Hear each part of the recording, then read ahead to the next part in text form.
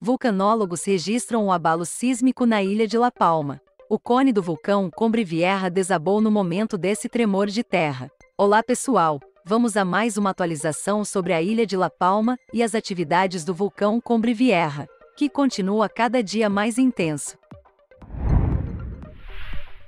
Nesse fim de semana, La Palma foi abalada por um dos maiores abalos sísmicos desde o início da erupção do vulcão.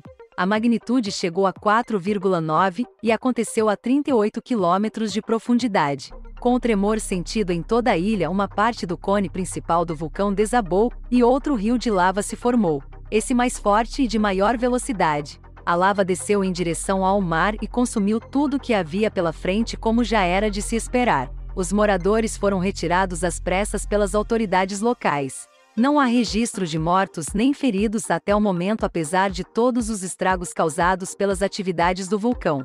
São várias perdas materiais em toda a parte onde as lavas do vulcão já passaram. Vamos continuar de olho e trazendo mais informações sobre a situação em La Palma. Deixe o like nesse vídeo e maratone os outros aqui do canal, e fique sempre bem informado. Se gostar do conteúdo, se inscreva ativando o sininho das notificações. Compartilhe o vídeo com o máximo de pessoas possíveis, continue ajudando o canal a continuar crescendo. Veja agora imagens impressionantes do movimento das lavas do vulcão Cumbre Vieja em direção ao mar. Um espetáculo da natureza lindo e assustador. Te aguardo no próximo vídeo.